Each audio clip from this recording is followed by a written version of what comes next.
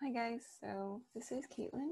I am one of your SI leaders for your Bio 5B class with Dr. Joseph. Today we're going to be talking about angiosperm and the different characteristics that an angiosperm has. So a really quick overview, just kind of like usual. First we're going to talk about what are angiosperm, um, the different components of a flower, types of fruit, advantages that the angiosperm clade has. So what are angiosperm? These are basically plants that have seeds and seeds, flowers, and fruit. Um, so if you have the time, I would recommend that you go back and look at seeds and just kind of think to yourself, what are the different characteristics that um, seeds have and what kind of adaptations do seeds have that kind of um, help the help all plants just kind of um, just kind of like a quick thing that you can do. Um, next, so just to kind of move along, um, because that because angiosperms have all these different adaptations, like mentioned, seeds, flowers, fruit, um, they're actually the most widely um, spread plant. So actually 90% of all land plants are angiosperm. So let's talk about flowers. Flowers are essentially specialized shoots for sexual reproduction its main purpose is to promote pollination, and it's actually made of four modified leaves. So as you can see here with this really quick like diagram, it's made of sepals, carpels, stamen, and petals, which we will go into.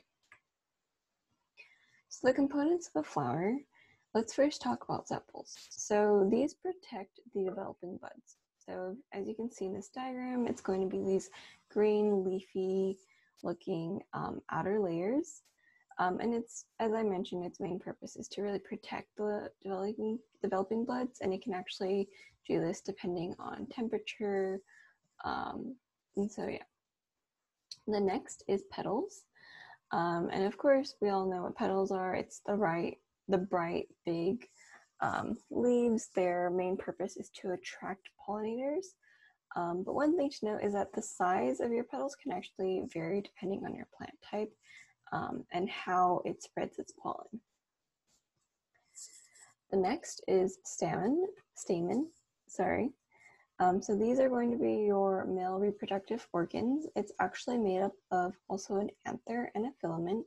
So these are things that you are going, going to want to remember, um, the components of these leaves, um, so here in the stamen, its main purpose is to make microspore or your pollen. Finally, we have carpels, which are the female reproductive organs, and its main purpose is to make the microspore. Um, and it does eventually become the ovary once it undergoes the fertilization event. So after it, your flower undergoes the fertilization event, um, you get the development of your fruit, which is basically just the mature ovary that surrounds seeds after fertilization. So its main it has two purposes. The first is to protect developing seeds, and the second is to really promote seed di seed dispersal. So basically, what happens is an animal will come, it'll see these fruits, it'll ingest these fruits, and because the animal is traveling um, long distances or it's just traveling somewhere that is not really next to this uh, plant, um, once it defecates the seeds, it is then spreading the seed around. Fruits can be either fleshy or dry. So an example of a fleshy fruit would be watermelon, pineapple, apple, oranges, all these things, right?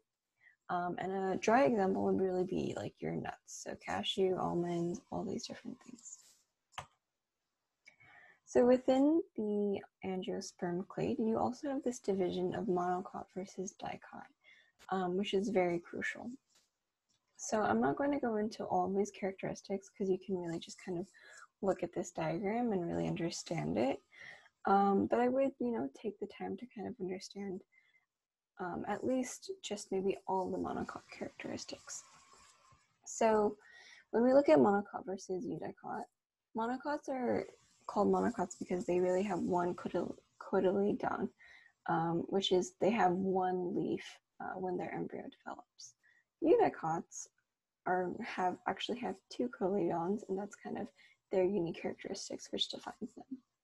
So between the two, you can kind of see they are very different. So monocots have leaf venation where the veins are usually parallel, the stem, um, vascular tissue is also different, um, and you just have all these different characteristics. So I would take the time, if I were you guys, to really go through this diagram.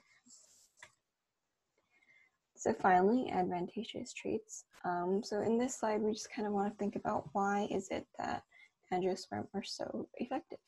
It's the first thing that kind of contributes to their effectiveness um, is their rapid life cycle. So in contrast to things like gymnosperms, um, angiosperm actually are able to germinate within really one to two to three weeks. So it's really a very quick germination cycle.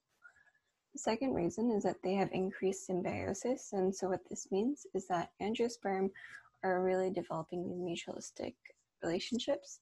So the most common example, the most prominent example is the relationship between mycorrhizae and the angiosperm root systems. So in this relationship, the mycorrhizae or the fungi um, help the angiosperm absorb uh, increased water and um, nutrients from the soil. And in return, your angiosperm, your angiosperm plant will provide the fungi with um, sugar. So finally, the third thing is that angiosperm have better vascular tissue. So they just have a more developed vascular system, which helps with the transportation of water, nutrients, and sugars. So that's all we have for today's video. This was just a really quick summary on um, everything that there is to know about, er, just not everything there is to know about angiosperm, but a quick summary on good things to know about angiosperm. If you have any questions, please leave them in the comments below. Um, thanks for coming.